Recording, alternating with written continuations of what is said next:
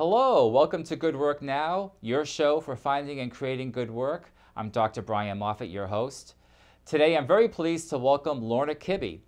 Lorna is a professional speaker and she provides a wide variety of services in the areas of leadership, communication, and motivation. And all her programs are designed to excite and inspire. And today, Lorna is going to talk about her seven secrets to world-class employees. So, stay tuned to see if you your colleagues or your employees are in fact world class. Lorna, thank you so much for being on Good Work Now, and you're my very first Floridian guest on our show. I'm honored. Before we go into the seven secrets, Lorna, let's start with what is a world class employee? World class in most of our definitions means best of the best. What we're talking about with a world class employee is an employee who is striving to exceed all standards and expectations put upon them and not just that, but the standards and expectations that they have for themselves. So I understand you have this program called the Seven Secrets of World-Class Employees. Uh, the first secret is world-class employees have global vision. Tell us about that. World-class employees are not concerned with just their own little corner of the world. You know how you have some employees who like to sit in one chair and just do their little thing? Mm. World-class mm -hmm. employees understand that their success depends on the success of their organization. So they're very interested in their organization, all the different departments, and helping everything to work better, not just their one thing, but they're researching and they're learning about their company, mm. and they're just interested in having that global view, you know, the big picture of what's going on in their company. And I imagine it's going to be very important for managers and supervisors to make sure employees, in order to have a global vision, have access to information. Absolutely. So that's yes. going to be important. Uh, the second one is world-class employees are obsessed with providing excellent quality and service. What are your thoughts about that? Well, you know, world class means best of the best. So world class employees are people who are giving their all to the organization to give a great performance. Mm -hmm. So they're working all the time to make sure that their product is the best it can be, that their quality is the highest it can be. So I imagine feedback is going to be very important, getting feedback from customers. Absolutely. And giving employees access to mm -hmm. that mm-hmm. information so they know where they're doing well and where they can make some changes. Right. Right. The third one is world-class employees are constantly seeking ways to grow and be professional, which kind of relates to what we just talked mm -hmm. about, having feedback. Right. So what are your thoughts about that one? The thing that's very interesting is that people in their jobs are experts just because they're in the job they're in. Mm -hmm. And a lot of people don't think about themselves as an expert.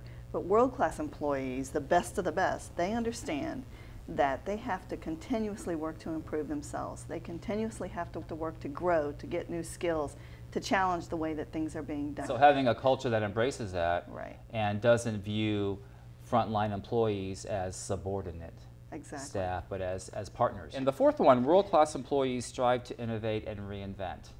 Right. They're never happy with the status quo. Mm. They're always looking for a new way to do things. They understand that they have to focus on what's going on now, but things are going to change. So they're looking for ways to improve their work processes. They're not afraid to try it another way. They're not the kind of people that are going to sit back and go, mm. well, we've always done it this way, so this works. They're going to do their best to find better ways to do their work. And actually, based on my experience and my research in this area, is that employees or human beings, by their nature, want to improve, they want to innovate, mm -hmm. but oftentimes organizations have barriers. Right. Either the culture or mm -hmm. the mm-hmm. structure or, or something is getting in the way of employees doing what comes naturally. How can managers and supervisors support employees in their quest to become a world-class employee?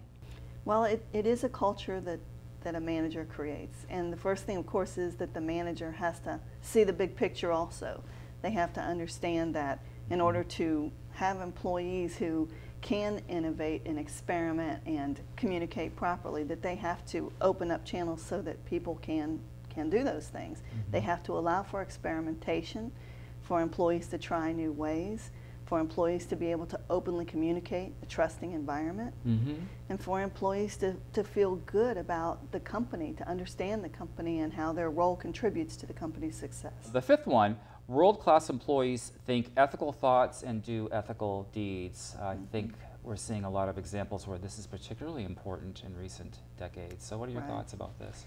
I think people get confused sometimes. Mm -hmm. And I, I, think the real indicator is if you have a funny feeling in your stomach, you should probably stop and check it out before you go ahead. Mm, Um, mhm. I, world-class employees are really trying to do right things.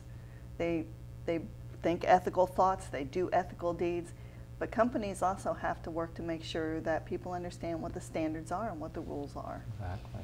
So organizations need to be clear about what their values are Mhm. and what where the policies what the policies are and where they are. Exactly. And world-class employees will latch on to that, Mm-hmm. And they'll have that feeling when something's not right, that they should ask questions before they move ahead. And it seems to me another important thing that managers need to do is to ask for feedback from employees about policies. Right. Because it may be that what you have written down in the policy manual isn't working anymore. Maybe it worked 20 years ago, Right. but maybe engage your employees Mhm. in a world-class process Yeah. to find what might be the best way to change. Uh, the sixth one, world-class employees are expert communicators. expert communicators. Communication is so Mhm. difficult, but expert communicators for a world-class employee means that they take a responsibility for making sure that their message is understood and properly evaluated. Mhm. That they don't assume people know what they're talking about.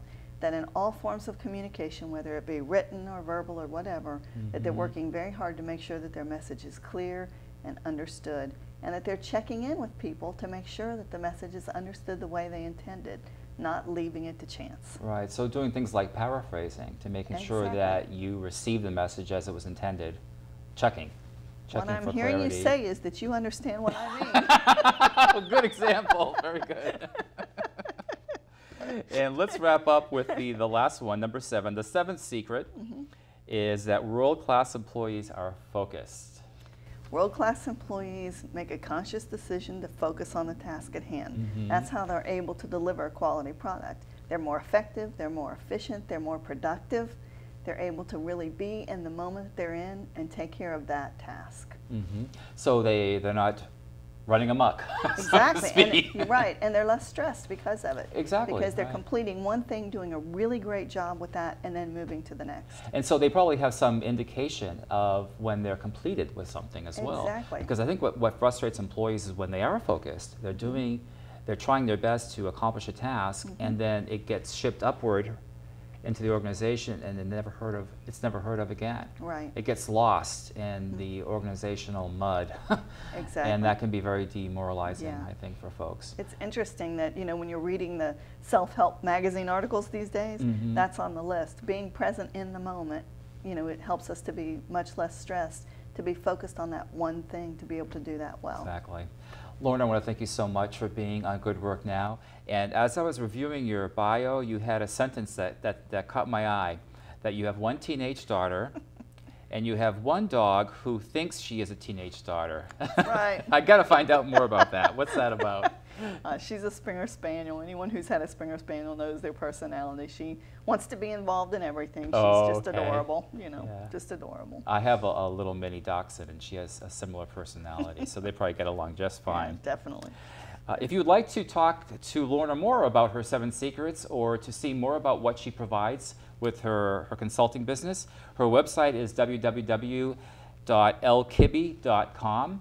And you can also call Lorna at 239 851 8773. And again, thanks so much for being on the show. Thank it was you. great to Thank chat you. with you about your seven secrets, and thanks for sharing the seven secrets. Okay. Thank you so much for tuning into Good Work Now. Next time, we're going to be talking about evil leadership, so please stay tuned for that program. And if you have any ideas for future episodes, please feel free to email me at brianmoffitt at comcast.net or visit our website. We have all kinds of episodes and tools free of charge for you to take a look at at www.goodworknow.com. Until next time, keep up the good work.